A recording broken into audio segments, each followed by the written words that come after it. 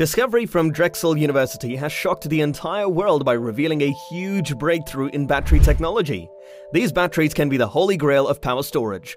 What does the revolutionary battery offer? What worries will it ease? Could these lithium-ion batteries be the future of battery storage? Join us as we dive into how this breakthrough has shocked the entire industry. A method for adding sulfur to lithium-ion batteries that provides more than 4,000 recharges was accidentally discovered by chemical engineers at Drexel University. The secret to renewable energy is energy storage. We cannot advance with renewable energy without it. We have been concentrating on lithium-ion thus far. However, there are additional players in the game. Although lithium-sulfur batteries have long been hailed as the best form of energy storage, a technological issue has prevented their widespread use until recently. It's fantastic that a team of scientists from Drexel University has finally achieved progress in lithium-sulfur batteries. Given how readily available and plentiful sulfur is, lithium-ion batteries may have a much more viable and manageable replacement if this innovation succeeds. Additionally, lithium-sulfur batteries could attain up to 8 times the energy density of lithium-ion batteries. That is a significant accomplishment. Now and again, cutting-edge technology seems to arrive and transform our environment. Examples of such groundbreaking accidental discoveries include dynamite, penicillin, X-ray equipment, and even microwaves. But this time, by unlocking a rare technology called lithium-sulfur batteries, it not only promises to revolutionize the way we live, but also maybe save our planet from impending climate change. For decades, we have been looking for the greatest technology to support our contemporary way of life and enable clean technologies like electric vehicles. The preferred battery technology since the early 1990s has been lithium-ion. It powers everything from phones and Teslas to backup energy grid infrastructure and satellites. They have some very serious drawbacks, even though they have propelled us into the 21st century. First, mining the elements required to make them, such as cobalt, is often exceedingly harmful to the environment. They even leach forth harmful substances and devastate larger ecosystems. In actuality, there is also a humanitarian issue because some of these mines exploit child labor and have dangerous working conditions. The life cycle issue is next. We expect our smartphones to charge more quickly. Everything from phones to cars fall under this category. But if you regularly charge lithium-ion batteries quickly, as anyone with a smartphone would attest, they can quickly lose capacity.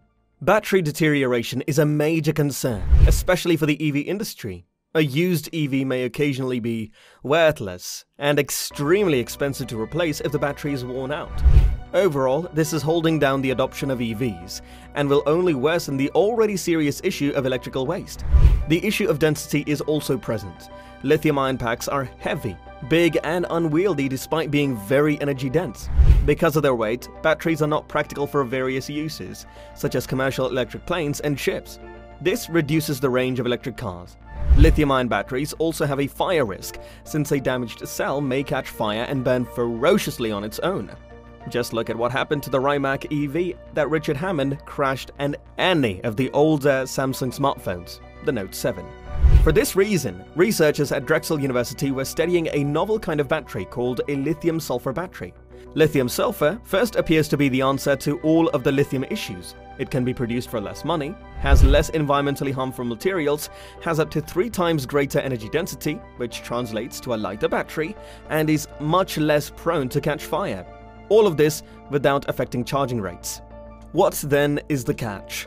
Why don't we have them already? They do, however, have a serious issue. Lithium-sulfur batteries are often only capable of handling around half as many charge cycles as a lithium-ion battery. So a lithium-sulfur battery is essentially dead after a year or two of regular use. Batteries made of lithium-sulfur may have the potential to be up to three times more energy dense and cost less to create than lithium-ion batteries. The Drexel team was experimenting with new lithium-sulfur methods to address this problem by altering the batteries' as cathode chemicals. They wanted to slow down the chemical reaction when the battery charges and discharges, producing polysulfides. These crystals effectively remove sulfur from the electrode, drastically reducing capacity. These extremely energy-dense batteries might live longer if they are slowed down. But what they discovered was amazing, a sulfur chemical phase that essentially halts battery deterioration this revelation stunned them so much that they had to double check everything to ensure they weren't misinterpreting it. Monoclinic gamma phase sulfur is the name of this chemical phase, which has only ever been seen in the lab at temperatures above 95 degrees Celsius, 203 degrees Fahrenheit. This stage halts the reaction that generates polysulfides inside the battery. Thanks to this technique, the battery was put through 4,000 charge cycles without losing capacity, which means it lasts at least twice as long as lithium ion. It's also important to note that their battery could charge just as quickly and had three times the energy density of lithium ion. It would be an enormous understatement to say this is a fantastic discovery, but there are additional advantages to this new sulfur phase, such as decreased battery expansion and higher safety margins. In other words, this battery possesses all the characteristics of the ideal mass market battery. And these researchers only discovered it by chance. The scientists haven't yet worked out what is truly happening, like with most unintentional discoveries, they still don't understand why or how to maintain this particular sulfur phase. More study is required to find the answers to these concerns, to create a dependable battery that can be used in billions of computers, electric vehicles, and similar devices. But the wait will be worthwhile, because these batteries weigh only a third as much and last twice as long as identical lithium-ion batteries. Technology will enable electric short-haul aircraft, cargo ships, and passenger ferries. An irreversible chemical reaction between intermediate sulfur compounds known as polysulfides and the carbonate electrolyte has made adding sulfur to lithium batteries with commercially acceptable carbonate electrolyte difficult. Previous attempts to employ a sulfur cathode in a battery with a carbonate electrolyte solution resulted in the battery failing after one cycle due to this unfavorable reaction. This indicates that faster, more effective EVs with thousands of miles of range will be economically feasible at prices comparable to today's EVs. Additionally, they would still be helpful in 10 years, significantly decreasing waste and speeding up the adoption of electric vehicles. Additionally, technology will enable electric short-haul aircraft, cargo ships, and passenger ferries. These industries will finally be able to meet their low-carbon objectives because of the weight-saving, long lifespan, and affordable price. In other words, lithium-sulfur batteries might make it possible for a wide range of activities to switch to electricity, making net zero emissions much more realistic. Amazingly, it gets better still. Plenty of lithium, sulfur and other materials on Earth go into making this new battery. With a stronger supply chain, as a result, we can significantly reduce the ecological impact of mining However, this discovery is not over yet. The Drexel team is already considering exploiting this innovation to create sodium-sulfur batteries.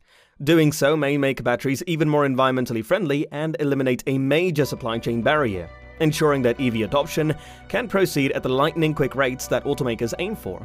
This chance discovery at Drexel University is expected to revolutionize how people use energy and speed up the transition to a more environmentally friendly, carbon-neutral society. Let's just hope the Drexel team can quickly move this technology from the lab and into our hands. Easing worries about the supply of basic materials. Utilizing sulfur as a lithium-ion cathode eliminates the requirement for cobalt, nickel, and manganese, materials with limited supply and, in the case of cobalt, ethical dilemmas.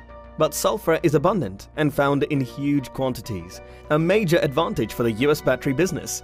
The Drexel team thinks the discovery will enable scientists to continue looking for alternatives to lithium anode, which might include more Earth-abundant possibilities like sodium. According to Kalra, reducing our reliance on pricey and challenging to extract elements like lithium is essential for the advancement of batteries and for enhancing our capacity to employ renewable energy sources.